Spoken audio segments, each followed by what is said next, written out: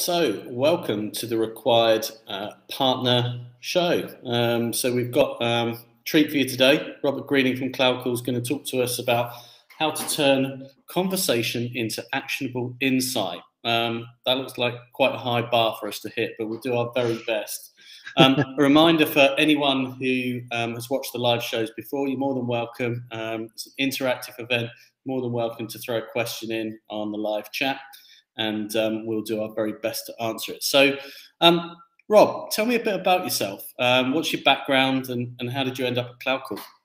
Yeah, well, uh, Andy, firstly, thank you, uh, thank you very much for having me on the show. Um, always a pleasure. Um, Cloud Call. So, two things really, actually. Um, one, I used to use Cloud Call in, in, in a previous company, and my background prior to uh, Cloud Call is selling CRMs. So uh, the CRMs that I used to sell all integrated with Cloud Call. So I was very familiar with what it done, um, the customers that were using it, um, and it was just a natural uh, progression for me in the clear in the career ladder when a when a role at Cloud Call came up. Are you allowed to share which CRMs you used to work for and sell?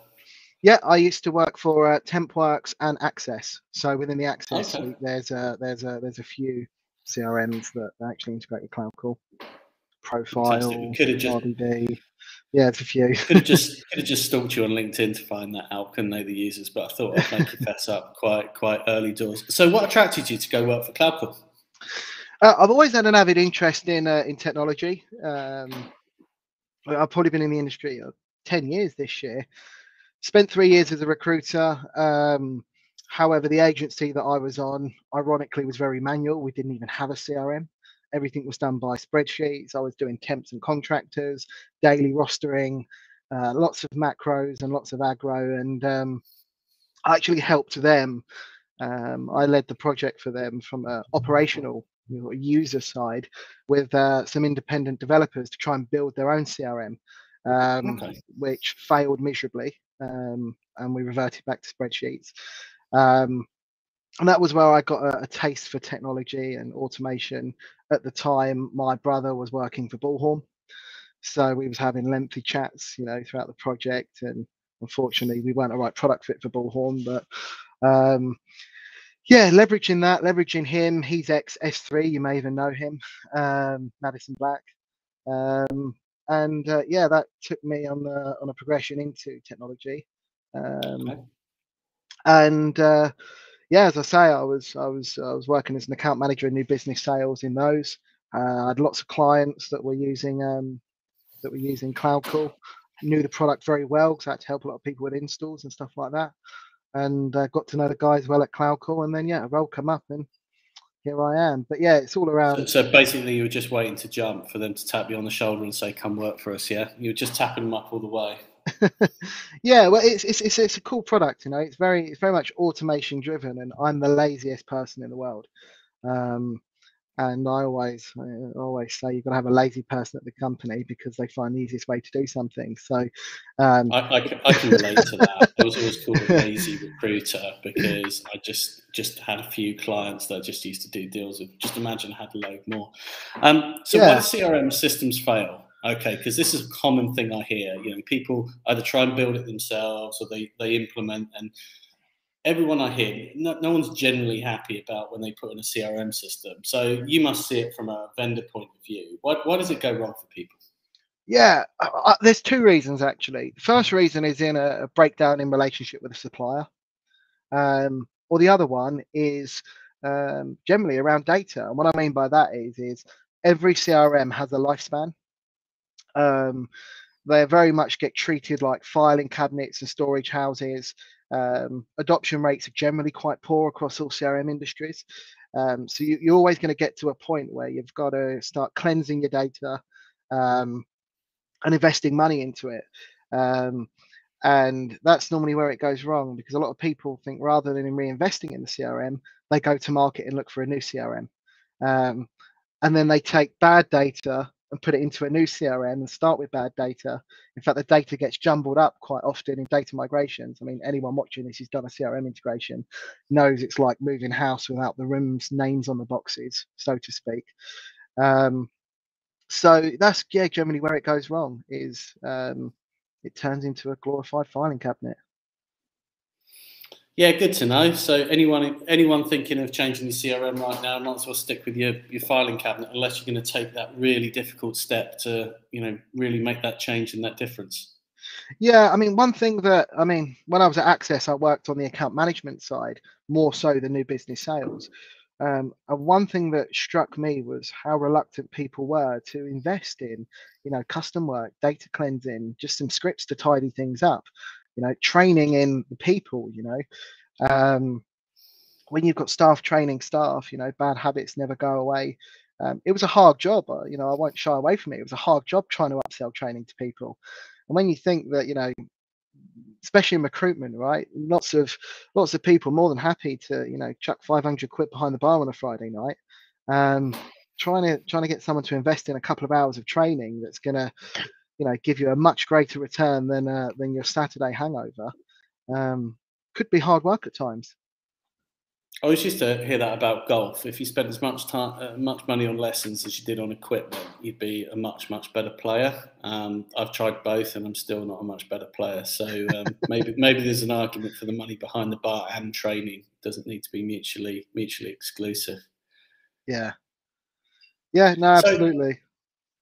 So, so obviously you guys provide telephone services. That's that's what you're famous for. But when we brought you into the network the thing that really surprised me was um, a couple of things actually is just i think the level of your integrations with the crms and your sort of you know the, the sort of the passion around the data and, and you know not all integrations are equal. I just thought they were they're not. Um, and the second thing is really the potential for voice going forward um, that's that's what really excites me about you know speaking to you guys and talking about how you can use voice going forward. Sure, sure. Yeah, I mean, if if you strip that back, um, I mean, a telephone is a telephone, right? But but the reality is, is it's not. It's uh, it's a piece of technology, you know. And if you're looking at any you know recruitment company, you know, you've got job boards, LinkedIn licenses, um, CV parsing, all these your CRM. You've got all these pieces of um, of technology within the business. Um, yeah, the reality is, is, is most of them are all around well, CRM, customer relationship management, engaging with, attracting candidates, attracting clients. Um, you spend all this money trying to build up a good pool. Um, yet the final and probably the most important hurdle is actually communicating with them. Um, and how do you communicate with somebody? You know, generally, yes, you can email, you can text, you can, you know, all that sort of other stuff. But everybody knows the best conversations happen over the telephone. Um, it's a lot more personable, um, and that's where people fall down. You know, they misconcept telephony as an expense at the end of the process. Well, the reality is, is you shouldn't look at it like that. What is what does any good recruiter need when they start out and their budgets are minimal? A telephone, a CRM. Um, and uh, uh, and you build your relationships from there. So that's really where. Um, have you have you seen a change in that? So I, I I think, and you know, if you ask daughter, you know, I've been recruiting forty eight years. He keeps telling me. So you know, we, we only had the telephone when I started as real, and you know, um, yeah, a fax machine, and you know, email was just starting to become, and we had a good old easy access database. But you know, telephone was the main the main sort of weapon. Um, are you seeing? Do you see sort of recruiters who still use that get better results than the, the guys who are probably, you know, relying on the emails and relying on the messages and? Oh, absolutely. I mean, my um, my motto has always been, and coming from an ex-recruiter myself, you know, the more conversations you have and the better quality those conversations, the more placements, the more hires you're you're going to make. You know, we're in a we're in a huge candidate shortage at the minute um, with everything that's going on. Um, and the reality is, is, is uh, you've got to get to said person first, um, and you've also got to make the experience memorable. You know, because you're not the only person that's going to be talking to them. Just because you've got there first, it doesn't. Yes, you have an advantage, but it but it's not concrete. Yeah, so basically, you're saying 22 years on, um, get on the phone still works just as well as it did when I first joined the industry. Yeah. Oh yeah, absolutely, absolutely. I mean, you can still. I mean, there's there's many other ways of selling, not just the telephone, but a lot of them are all around building up warm relationships. So you're not necessarily speaking to them cold, but you know, the execution is always picking up the phone. You know, and we do analytics for lots of recruitment agencies. We partner with Cube 19, we partner with One Up Sales. Um, we give them information for their analytics, and uh, the reality is, is those who are on the phones more are generally the, the, the bigger billers. I think what's really interesting is the power of data that you guys are sat on. Yes. What was really interesting when I was chatting to Matt and Simon at the start of the partnership was I think it's something like 15 billion phone calls that you guys have recorded over the over the history of Cloud Call, and you know that's just amazing power. Um, you know, it's going to be you know Amazon and Google can't have that sort of amount of audio to process um, things. So, you know, wh- where can that go? How, how, how can companies use all of that information for, you know, meaningful use? Yeah, well, it's just turning it into, it's turning it into insight. I mean, every company sat on data, but what is data? Everyone will answer it differently, but the reality is it's just stored information, right? That generally means nothing to no one unless you can do something with it and um, and and that really is the bigger picture. You know, everyone thinks, oh, telephony systems. Oh yeah, I can do a click to call, or oh, I can automate a note. You know, it's not yeah. the operational efficiencies. Yes, they will.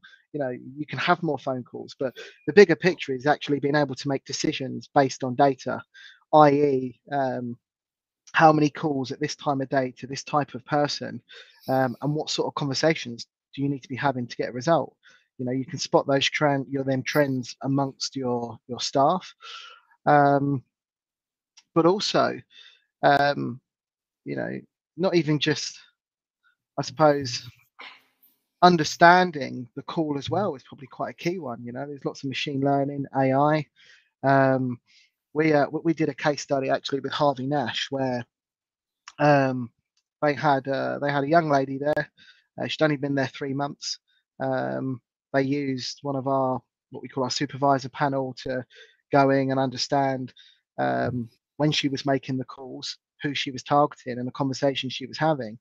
Um, and there were two questions that she wasn't asking on the call, um, or, or the calls that she was having.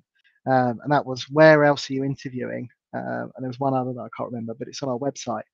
Um, just that small tweak off the back of it, she was their top biller by the end of the year. Um, so you're saying recruit recruiters pull leads out of people is what you're saying, yeah? Oh, absolutely. I mean, every conversation you have is building your next pipeline. You know, the hamster wheel doesn't stop. You've got to take something away from every conversation. Um, and if you can't do that, then you've got to, you know, you've got to find a way to automating it. But I mean, it's even just going back to, you know, strategy and stuff like that. You know, how can you as a business leader strategize and make decisions based on a salesperson doing admin. Because you know, I speak for myself here. Salespeople don't do admin.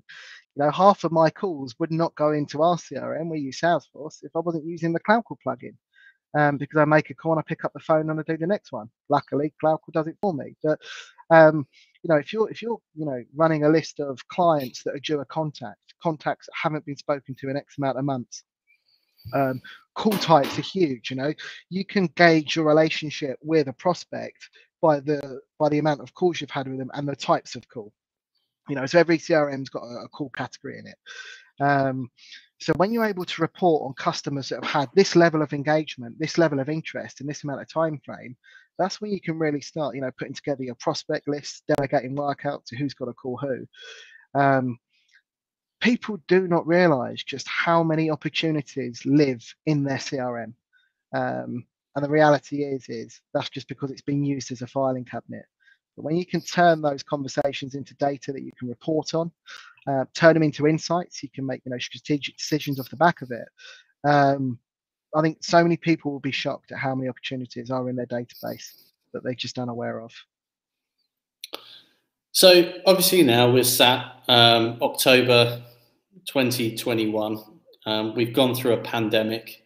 18 months into that, I'm sat the other side of the world you're, you're sat in your spare bedroom with your Peloton bike in the background. So, how have you seen the world of work change from a cloud call perspective, and and what challenges have you guys had over the over the course of the last eighteen months? Sure, God, where do where do I start with that? So, I suppose the first thing is uh, well, everything's gone digital, right? I think everybody who didn't have their technology stack in order has had a serious wake up call in the last 18 months.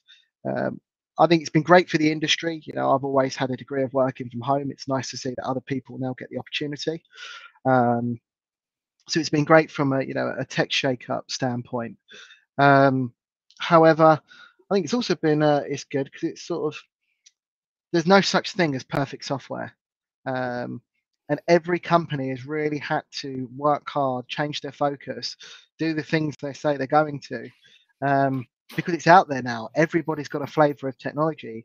In the last year, 18 months, everybody's been in buying mode. So, yeah, it's certainly weeded out the um, the cracks within a lot of tech companies, and um, it's certainly made the ones that rightly deserve it, you know, shine. So, um, that's the first thing.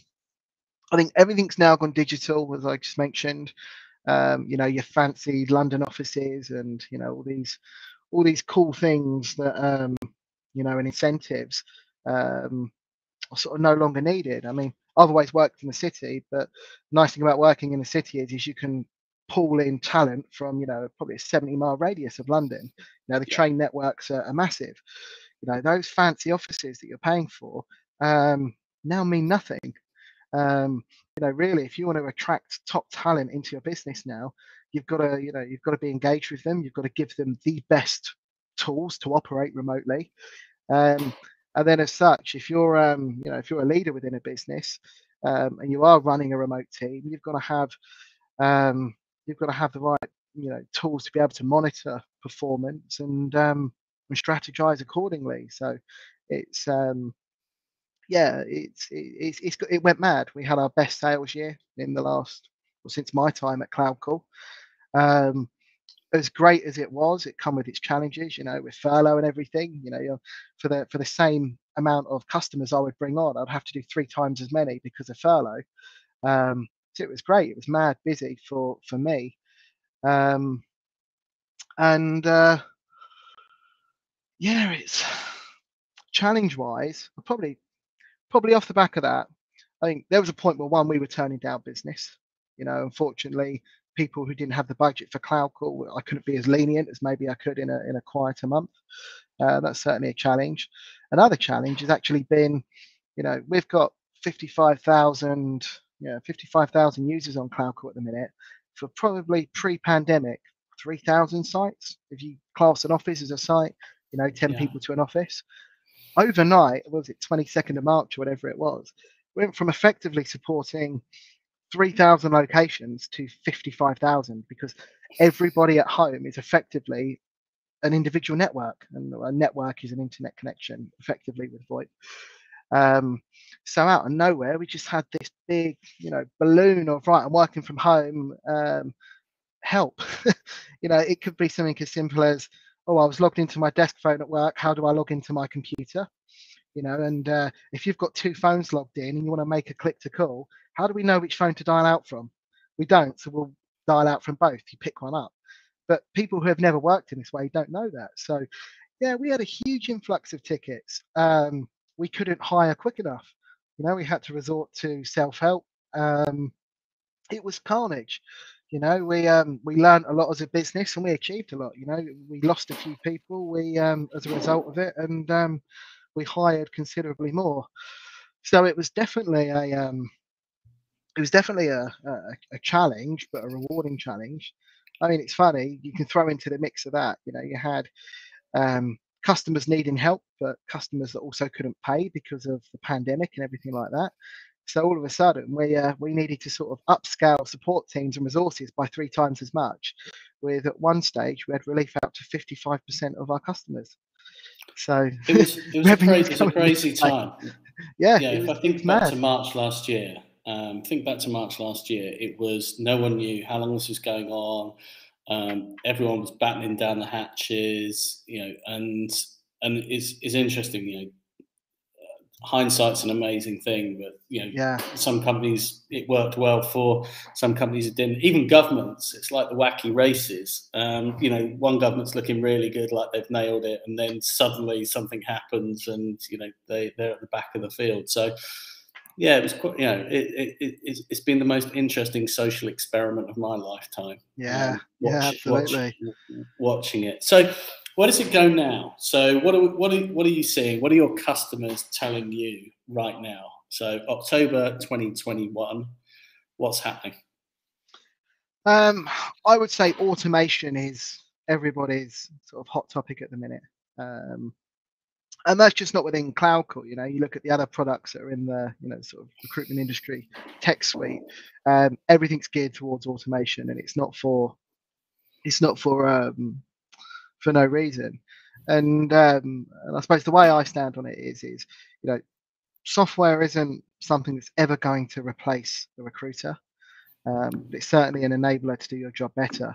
You know, so if you can take away all of the mundane tasks, um, you know, 35% of recruiters spend more than one hour a day on manual admin.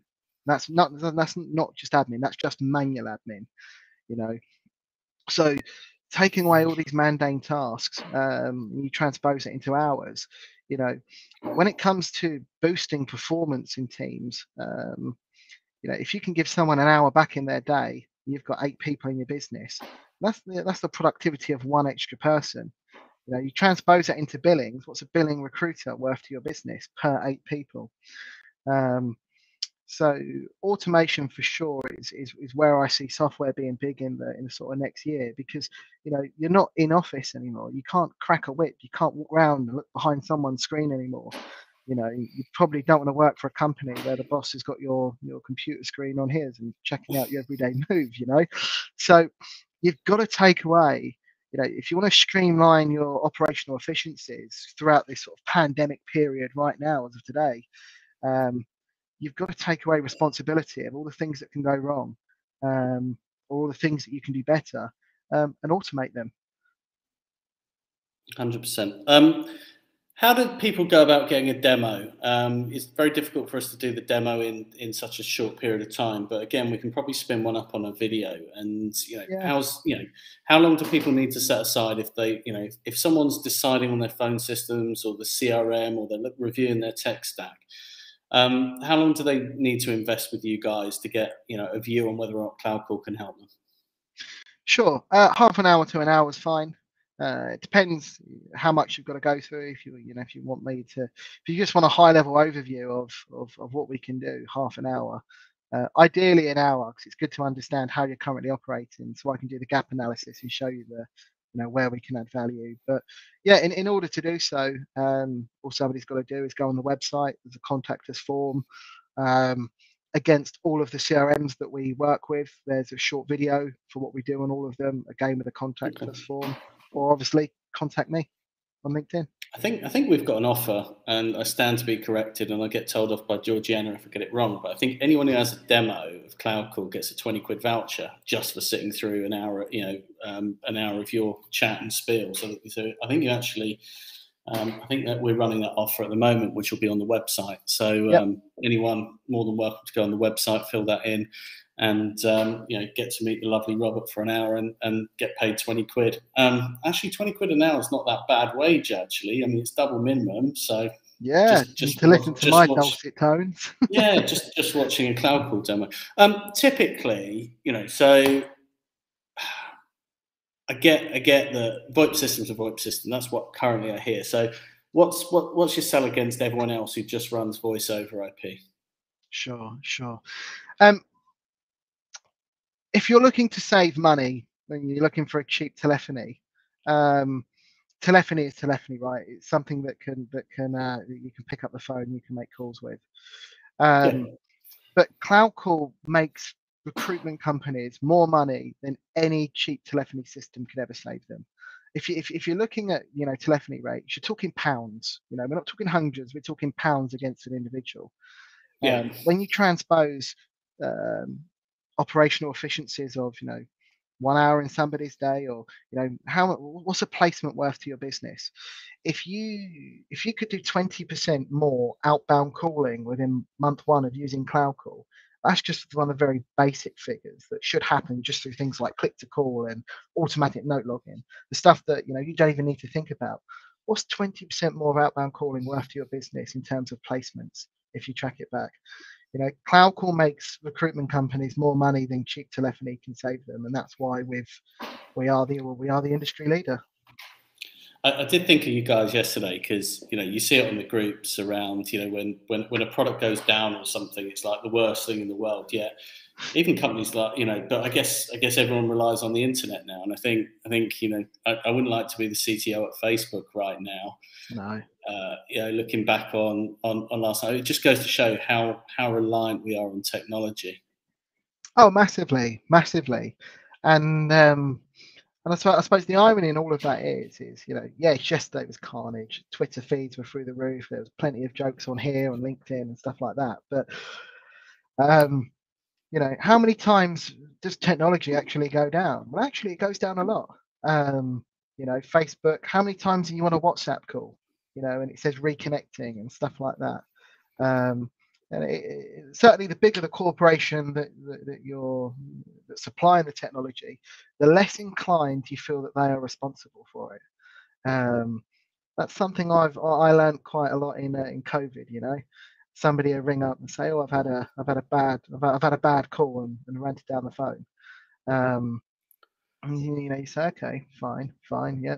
I don't, uh, you know, I ask them, you know, what other devices are you using in the house? Oh, yeah, I use WhatsApp. Well, do you ever have a problem with reconnecting? Sometimes. Like, oh, okay, have you called them? Um, it's, one of, it's, one of, those brand recognition things. They used to say that in retail about about Marks and Spencers. I mean, if Sainsbury's didn't have apples, then you know Sainsbury's were terrible. If Marks and Spencers didn't have apples, they were really popular. Yeah. So it was it was one of those things that you make you know excuses for the brand sometimes, don't you? But yeah. but you're right. I mean, look, the the issue you have versus a WhatsApp is that okay, people can pick up the phone to you. Well, hopefully, um, they can pick up the phone to you and, and have a rant. Exactly. Um, but um, but you know, you know, WhatsApp. Where do you start? It's a faceless corporation, basically. Yeah. Um, you can have a go at them on the, on the on the socials. So, okay. Well, look, I think that's a really good.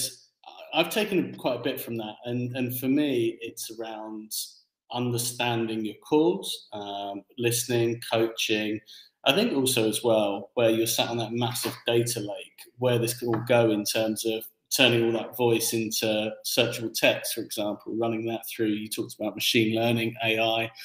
Uh, yeah, it's just really exciting where it, where it goes. And you know, I guess, I guess how much how much of what's coming in the future can you tell us about? Sure, sure. Well, we have actually got a project at the minute that um, the nickname is picking the carrots out of the out of the soup. Um, okay. So um, transcribing, it's, it, it's, it's, sentiment analysis is what we're doing. So to strip yeah. that back, um, transcribing, I get asked all the time, do you transcribe calls? And I go, okay, why do you want transcribing? Oh, we don't have to write any notes down. And I say, okay, but if you have a 30 minute conversation with someone, you know that's probably going to be 55 pages worth of notes if the text box is that big in your CRM. What does that mean? You know when you type notes what, what do you do? You, you type in you know where they live where the salary contract end yeah. date etc etc um so, so, you bullet point the, the, the key stuff. So um, we've got a sentiment analysis project going on at the minute where you know if you're on the phone to uh, hypothetically an IT developer right um, and they say they're they're on 50 grand or they're looking for a 50 grand salary in that conversation, we need to know is someone aspiring to be an IT developer and they're on 50 grand and they're looking for, say, 70 grand a year or, or something like that. So, um, not only uh, are, are, we going to be doing sort of transcribing, but yeah, we're going to be taking away the key metrics out of that conversation and, and, and put it into your CRM for you. Um, so keep an eye on that one. That's going to be a huge development. Um, WhatsApp and other omni-channel stuff. That's all in the pipe. Um, okay. pretty much done on our side. We're just waiting on them to. They've got some data stuff that they've got to sort out, um, and Microsoft Teams as well. You know, we um, we were we were in the middle of building a video platform um, as the pandemic hit. So yeah, the pandemic hits and the whole world switches to Zoom and Teams. Um, there was just no point us continuing it any further. We thought, right, yeah, video products are hard work. Yeah, I know yeah. that from, from from experience. And you got a new app coming as well, haven't you? Yeah, yeah, we've got a new app. So uh, um, we've got a, an app coming out on the same codec as Teams and WhatsApp. So in terms of voice quality, um, you're not going to be able to get any better. That's in beta at the moment. That's in its final stages. Uh, yeah, we've got Teams video integrations and stuff like that coming out very shortly. So yeah, very strong roadmap and pipeline of things to come. Sounds good. So um, people can find you on LinkedIn. They can find yep. you on the CloudCall website, or if they want to um, go through, get the offer, um, pop through, um, book it via recwired.com and um, find out how CloudCall can turn conversation into actionable insight. So, um, really good to chat again, Rob. And yep, cheers, yeah, looking forward to uh, um, to seeing those seeing those things come through. So, we catch up soon. Brilliant.